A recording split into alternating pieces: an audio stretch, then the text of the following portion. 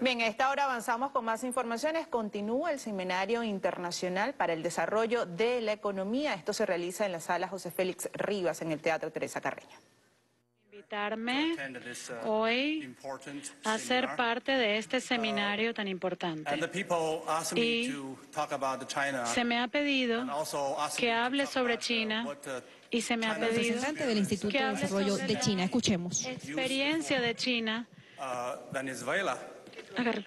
Esta es la primera vez que estoy en este país, entonces yo no estoy en posición alguna, digamos, de darles consejo de cómo Venezuela, qué debería de ser Venezuela. No soy quien, pero lo que quiero hacer sencillamente es decirles, desde mi punto de vista, qué ocurrió en China y qué ha hecho, qué hizo la China y los chinos en estos últimos 40 años.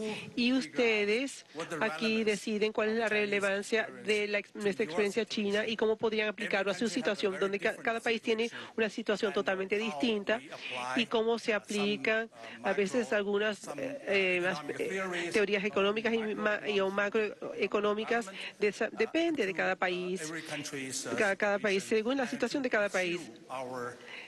Y uno así puede mejorar. Primero, quisiera sencillamente y de manera breve, de, darle un esquema general de lo que está ocurriendo en China.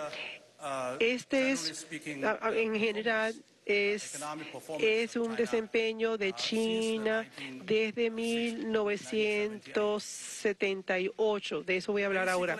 Básicamente, para darles una historia, nosotros hemos tenido un crecimiento bastante estable. La inflación, la mayor inflación que ocurrió fue en 1994, que era de, del 24% de inflación, y después la inflación casi llegó a cero y entonces bajó muchísimo y el crecimiento aumentó más del 7% hasta que llegó COVID hace unos años, cuando todos sabemos.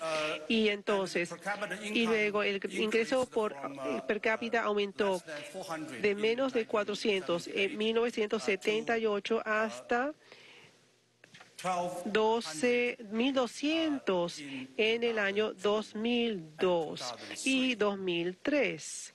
Entonces,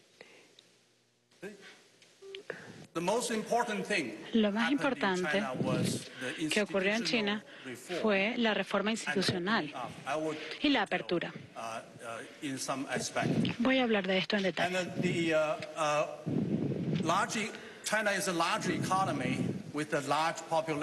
Tenemos una economía grande con una uh, gran población y esto significó ventajas.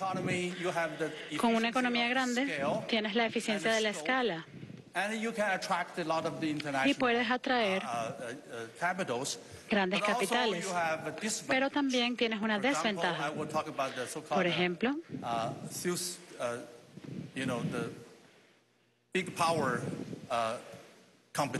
la competencia de los grandes poderes.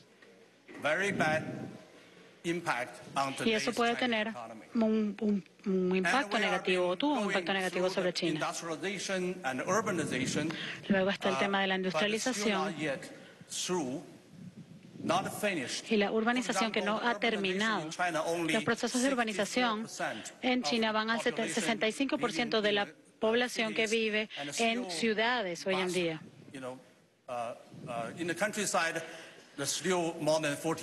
Mientras que todavía hay casi 40% de la uh, población viviendo en áreas rurales. Es decir, que todavía falta eh, uh, urbanizar más áreas. Voy a ir hablando sobre diferentes puntos. Primero es la reforma institucional desde 1978. Las reformas ocurrieron China no hizo reformas radicales ni la privatización masiva de las empresas estatales.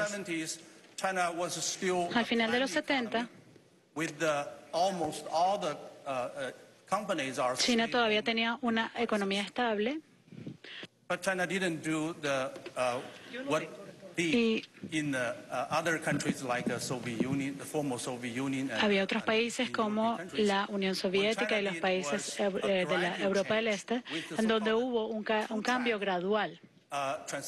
Es decir, un cambio de eh, doble vía.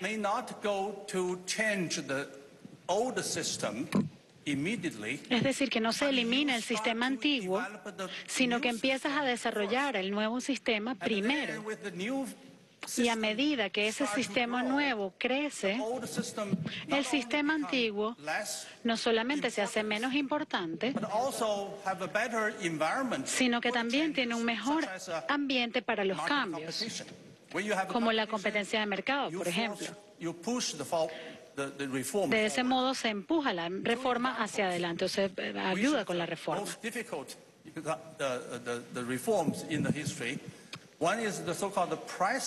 Tenemos la reforma de precios. Antes de las reformas del mercado, China era una economía estable, plana, y los precios eran fijados por el gobierno. Y debido a la escasez, el consumo de los hogares era racionado. Y si se elimina el razonamiento, lo que ocurre es que hay una hiperinflación y la gente sufre, el pueblo sufre. Lo que se hizo en China fue comenzar a desarrollar el, libre mercado primero y mantuvo la parte fija, de la parte racionada y todo ese nuevo desarrollo de producción ayudó al, al libre mercado. Y ese libre mercado fue creciendo cada vez más y la gente comenzó a confiar más y apoyarse en ese libre mercado. Y después de siete años de transición, eventualmente fue que fue más aceptable para las personas el cambio. Asimismo, el gobierno también dio subsidios a las personas cuando eliminó el subsidio de algún, de algún, activo, de algún elemento en particular. Entonces tenemos dos caminos, uno que tiene que ver con el razonamiento y otro que tiene que ver con el libre mercado. Y por eso hablamos de reformas graduales, porque se tuvo ambos caminos al mismo tiempo funcionando. Luego tenemos la parte de las empresas. Antes, la mayor parte de las empresas eran compañías estatales. uh, y la idea era diversificar. ¿Cómo hacer que el sector privado, el sector privado se desarrollara? Y la lógica es la misma. Tú desarrollas o comienzas a desarrollar el sector privado, das o generas el ambiente necesario para el desarrollo del sector privado y poco a poco uh, uh, se reforman las compañías del Estado y se trata de mejorar su competitividad. Uh, y así es más fácil convencer a la gente de aceptar los cambios. El resultado de estas reformas es que China de hecho, tiene un gran sector privado. No como dice la gente que en China la mayor parte de las compañías son estatales. Aquí ustedes pueden ver un gráfico de donde están las industrias privadas. 70% del valor agregado de la industria es de las compañías privadas. Y lo que, de lo que habló el profesor Lee ayer, o David Lee, de los vehículos electrónicos, de los teléfonos inteligentes y todas esas cosas, todas esas cosas son producidas por compañías privadas, son millones de personas, millones de iniciativas privadas.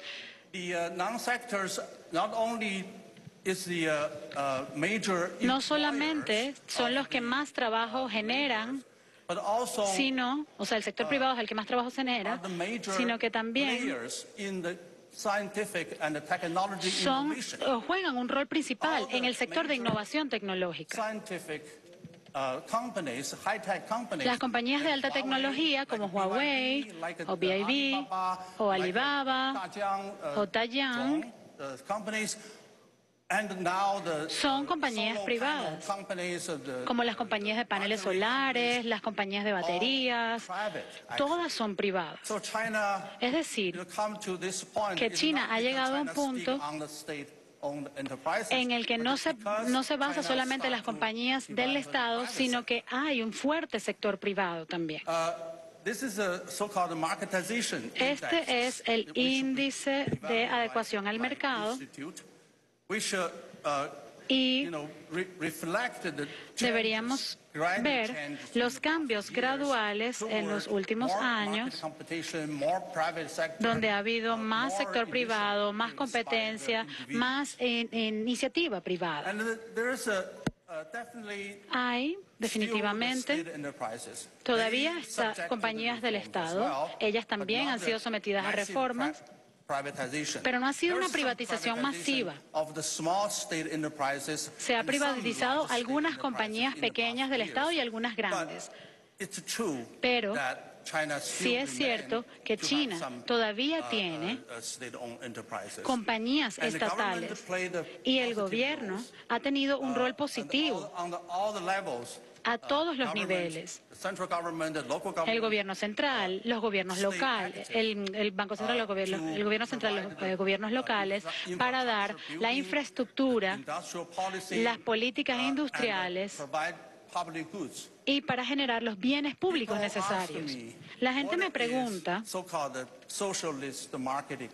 ¿qué es la economía uh, socialista de mercado? Y yo diría que la seguridad social es ahora una necesidad para la economía de mercado. Eso no es nada uh, especial. El gobierno genera unas reglas, unas leyes uh, durante el manejo macroeconómico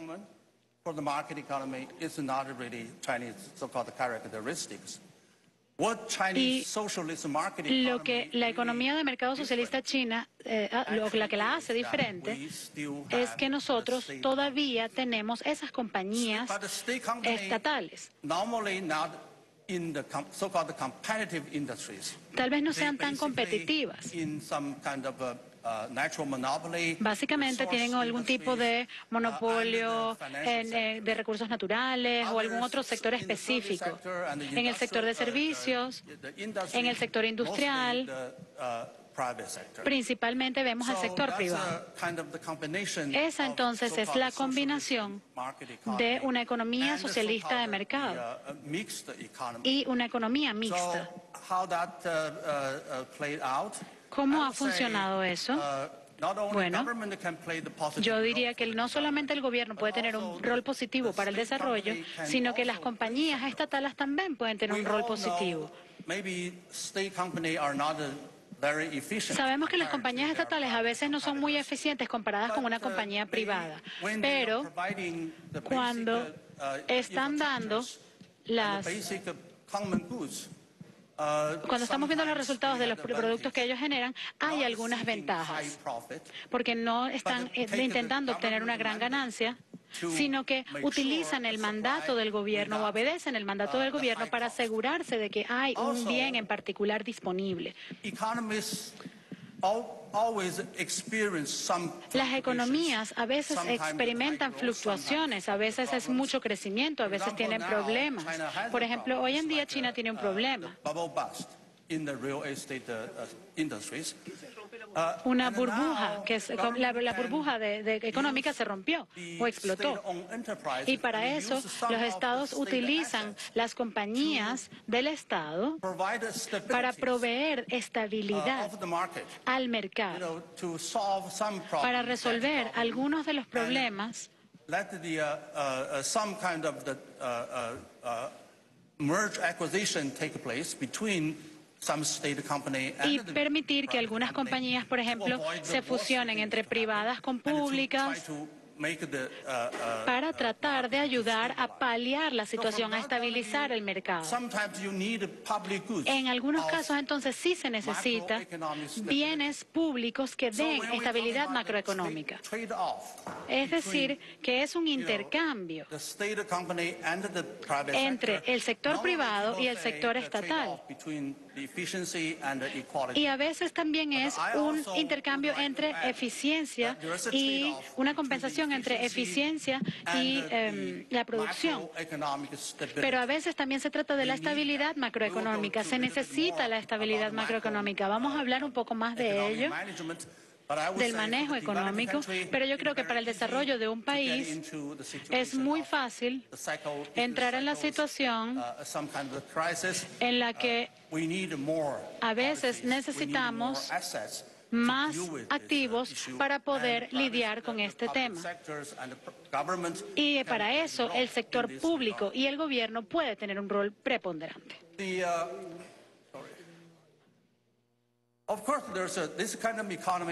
Por supuesto, este tipo de economía sí presenta problemas. Uh, Hay que hacer uh, esfuerzos importantes anticorrupción y tener políticas anticorrupción. Hay dos cosas importantes. En el periodo de transición, uh, por ejemplo, cuando estábamos haciendo la, eh, um, estrategia doble, hubo mucha corrupción. Porque la gente podía comprar bienes a los precios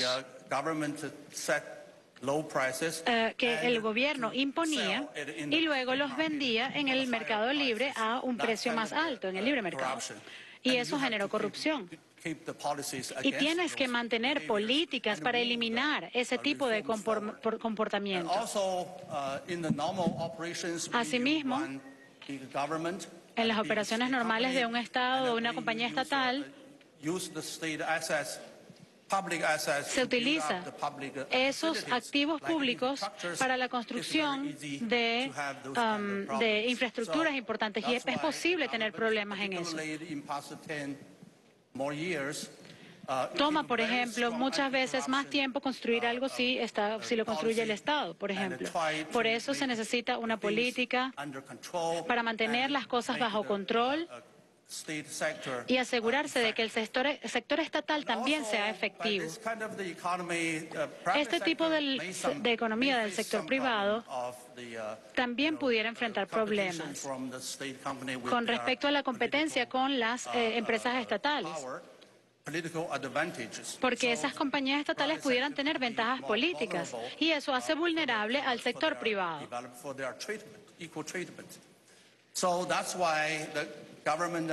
Por eso es que el uh, gobierno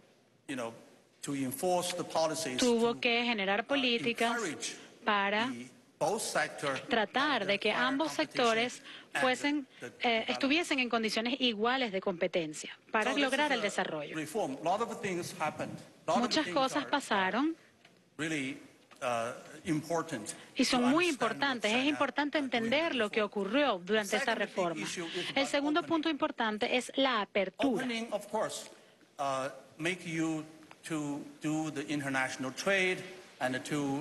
esto te abrirte al mercado internacional e, e, e invitar a la inversión extranjera puede traer eh, importantes uh, resultados. Y yo quiero darles parte del pensamiento teórico sobre el desarrollo económico. Un país que se está desarrollando uh, normalmente tiene desventajas. Muchas veces no tenemos los uh, factores correctos, por ejemplo, el conocimiento, la tecnología y la capacidad de innovación. Y solo tenemos uh, factores de baja calidad. Por ejemplo, en China comenzamos con una gran cantidad de trabajadores de baja calificación o bajo entrenamiento. Y la idea, la idea es ver cómo logras ponerte al corriente, ponerte al día y lograr las calidades o las capacidades de, de producción a corto plazo y a largo plazo. Eso es importante para los países en desarrollo. Desde ese punto de vista, yo diría que nosotros estábamos atrasados de muchas formas, pero teníamos dos ventajas. La ventaja comparativa y otra que se llama la ventaja del que llega más tarde. Esa ventaja comparativa te permite o te da te permite hacer el esfuerzo para lograr esa ventaja te permite utilizar lo que tienes y tratar de comenzar un proceso de desarrollo, tratar de ganar dinero, tratar de aumentar el empleo de tu población. Eso es lo que hizo China. Cuando tú abres tu economía, comienzas a tener una mayor escala de industrias que se desarrollan. Y así comienzas a utilizar los factores existentes como, por ejemplo, tu fuerza de trabajadores. Para otros países, eso pudiera ser también un recurso. China no es un país rico en recursos naturales. El factor primordial que nosotros podíamos utilizar al principio de nuestro proceso de desarrollo fue precisamente la fuerza de trabajo, los trabajadores. Luego se trata de cómo acumular esos factores positivos, cómo puedes desarrollar tus capacidades para la innovación, cómo desarrollar el conocimiento. Necesitas educación. Jeffrey Sachs habló esta mañana sobre eso. En algún momento, tú tienes que hacer que tu gente tenga conocimiento. Y eso toma tiempo. A veces toma mucho tiempo. Lograr que tu sistema de educación esté funcionando de ese modo, para educar a todas las personas y para acumular el conocimiento. La apertura te hace o te expone al mercado internacional y al mismo tiempo tú puedes comenzar a beneficiarte de la tecnología que viene, puedes aprender de lo que otros están haciendo, puedes aprender del conocimiento acumulado de otros cuando ellos comenzaron su, eh, crecimiento económico. Abrirse entonces, la apertura abre canales para que tu país se beneficie de llegar de último. Es la ventaja del último que llegó. Uh, ahorras entonces tiempo, ahorras costo, porque tú estás utilizando factores de conocimiento y tecnología más rápido que los demás. Más rápido que si tú mismo hicieras todo educando a tu población. Eso creo que es un factor clave de por qué China se desarrolló tan rápido, especialmente en los últimos 20 años. Al inicio, las fuerzas principales que obligó a China a crecer eran, se llama, las ventajas comparativas y después cuando China comenzó a invertir a, inversión extranjera uh, que trajo uh, consigo la tecnología nueva y el conocimiento necesario, entonces China comenzó a uh, enviar estudiantes a estos países extranjeros para estudiar fuera y China entonces empezó con y tuvo intercambio, eh, intercambio tecnológico con otros países. Entonces así aprendimos nosotros como todos los conocimientos de los demás que fueron creados en el pasado al estudiantes, especialmente para aprender cómo se puede innovar, la capacidad de innovación y cómo con la innovación y pueden uh, incorporarla al negocio de todas las distintas industrias que teníamos. Entonces, desde este punto de vista, yo diría que eso de desarrollo es un aspecto clave y tiene que ver cómo pueden utilizar estas esto una ventaja comparativa y la ventaja del que llega de último para asegurarse que así ustedes están, digamos, en la cresta. Ustedes van a tener, digamos, van a obtener factores clave a su favor, como el aspecto de conocimiento y tecnología que van a estar a su alcance. Y luego, con respecto a que China también durante este, esta apertura que tuvo China intentó hacer esto a su máximo nivel. Por ejemplo, nosotros todos conocemos lo que se denomina la teoría de la industria, una teoría especial de la industria, ah, perdón, de industrias incipientes y Friedrich List de, Alemania y un economista alemán que dijo, yo pienso, era en verdad el precursor del desarrollo y la economía del desarrollo porque él habló y que hizo la diferencia entre desarrollo y otros aspectos y luego en Inglaterra, era el país más em, desarrollado en aquella época y decimos, si hacemos todo como lo hacen los británicos, entonces y las teorías de Adam Smith es buena, pero si hacemos eso ahora, nuestra economía no se puede comparar con, no es competitiva como las empresas británicas, no vamos a crecer porque ese es otro país, otra realidad. En ese caso, tienen que adaptarlo, adoptar las políticas, tomar algunas políticas, pero adaptarlas para asegurarse que sus industrias pueden crecer. Entonces, tienen que algún tipo de protección también, pero a la vez tienen algún tipo de políticas.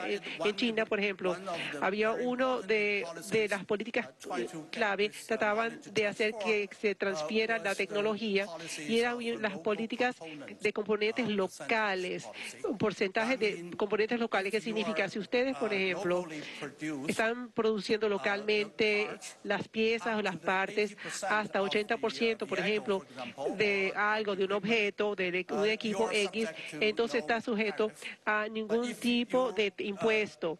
Pero si ustedes producen, por ejemplo, un carro, por ejemplo, con menos de 80% de las piezas que sean nacionales para producir en el país, entonces va a estar sujeto a, impuestos, algo de este tipo, para asegurarse que la tecnología puede entrar al país, pero que sea un mínimo. Y luego China, luego eh, fue miembro de eh, la Organización Mundial de Comercio, entonces eso hizo una gran, trajo una apertura muy grande a China y que creciera mundial. Bueno, este es un gráfico de FDI en China en, con respecto al desarrollo de China.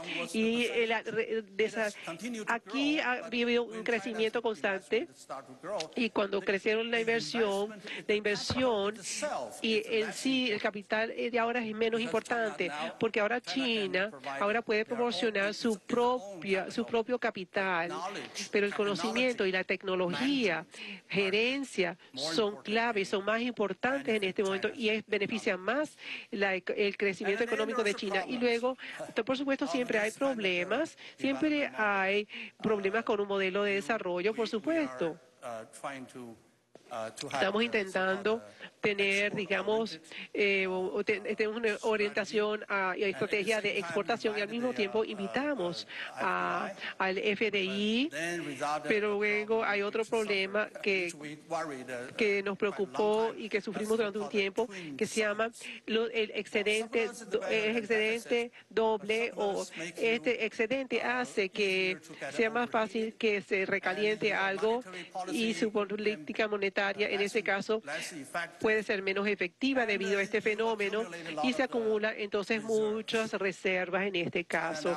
China actualmente tiene 3 millardos o billones de reservas y esto es lo que significa es que uno presta dinero a otros, literalmente los países en desarrollo y entonces no pueden utilizar todos sus recursos y potencial para, para su propio desarrollo. Y luego China tiene un altos ahorros, hay alto nivel de ahorros que se relaciona con, e, que se relaciona con este aspecto y crea un problema que lo se llama el recalentamiento. Pero esto es algo que nos lleva al tercer elemento de que es de gerencia de lo que se llama la microeconomía, que son dos cosas importantes. Una es tratar de evitar sobre el calentamiento, donde hay alta, alto crecimiento, es fácil entonces que haya sobrecalentamiento. Y cuando hay sobrecalentamiento e inflación, entonces hay que, esto hay que evitarlo. Puede que existe esto de que se rompe la, la, burbuja, que no es muy problema, ocurrió, no fue tan grave, pero este tipo de riesgo siempre está ahí presente y latente. Entonces, el pasado, en los últimos 40 años, mejor dicho, varias veces la China, el gobierno chino adoptó estas políticas y, para evitar el sobrecalentamiento. Y a veces no solo es el, aspecto macro, la política macro fiscal, a veces es también, hay otras políticas monetarias para moderar un poco las inversiones, tenerlas bajo y, y luego hay y luego tomar hay que tomar en cuenta las industrias y bueno este es un elemento central. Tenemos un, sistema unitario y eh, pero los gobiernos locales no están responsables de su propia deuda porque el, gobierno central es el que, que está encargado y es el responsable de la deuda central. Y esto es en cuanto a responsabilidad y entonces la deuda del, gobierno local está en manos y, y es responsable es el gobierno central. Entonces esto es algo muy claro. Se paga la deuda, por supuesto. A veces entonces la demanda es muy fuerte y el gobierno central tiene que dar frente a ello y a veces son políticas administrativas que tienen que utilizar para poder moderar un poco este, esta situación para que no haya recalentamiento del sistema. Y el segundo clave elemento es evitar lo que se llama el flujo, fuga de capitales. Por lo tanto, es por ello que la China aún, aún no ha llegado y está totalmente liberalizada de, de, cuentas de capital.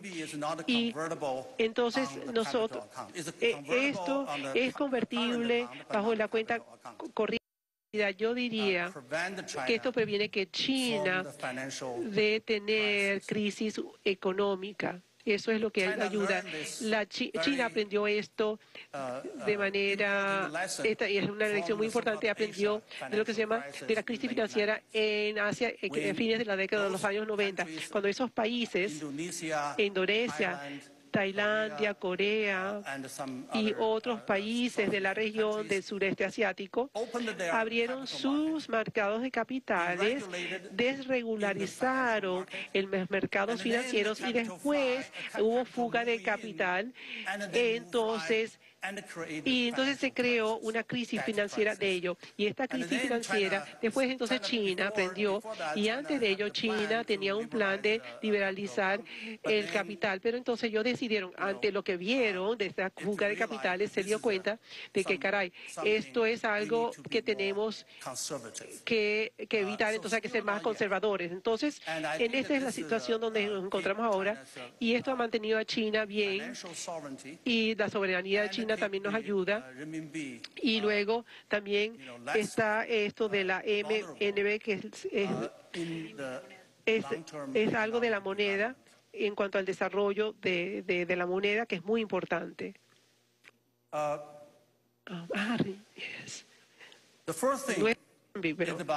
lo, cuarto es acerca de igualdad. En cuanto a, la, pista dual media de, ingreso uh, monetario, esto fue definido por algunos economistas en la Banca Mundial que dice lo siguiente, que cuando un país de bajo ingreso llega a cierto nivel o cierto punto, cuando el ingreso aumenta a un nivel medio, entonces no son competitivos con respecto a otros países de bajo ingreso y al mismo tiempo tampoco no tienen factores de alta clave para poder competir con países de desarrollo y sus productos, entonces no pueden hacer lo mismo que anteriormente hacían. Sin embargo, no tienen eh, factores de buena calidad. Entonces, entonces el track queda como en el medio, entre una cosa y otra. Pero para mí, personalmente, esto no es un problema en realidad para poder ganar ese ingreso medio por algún tipo de industrias medias o medianas, porque la tecnología no es de tecnología baja o tecnología alta, es, es un espectro muy amplio.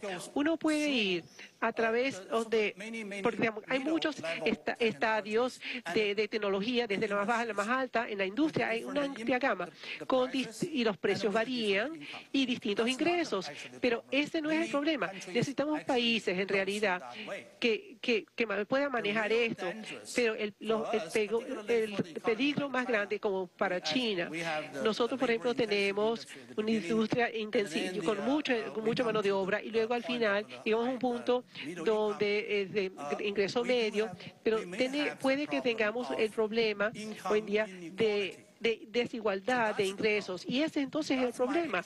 Y esa es mi explicación de, de, lo que se llama de, de la, una curva especial. Esta curva de Kuznets. Reformas económicas integrales, hablando de la experiencia de China, destacaba que en un principio, en el caso del gigante asiático, el factor fundamental fue la fuerza de trabajo, pero luego incorporó otro que es fundamental para el desarrollo y la apertura de las economías, que es el conocimiento, es decir, la educación. Nosotros con estas imágenes y con esta información vamos a retornar nuevamente al contacto de los estudios, bien atentos para compartir con ustedes eh, lo que será la clausura de este Seminario Internacional de Desarrollo Económico 2024. Adelante.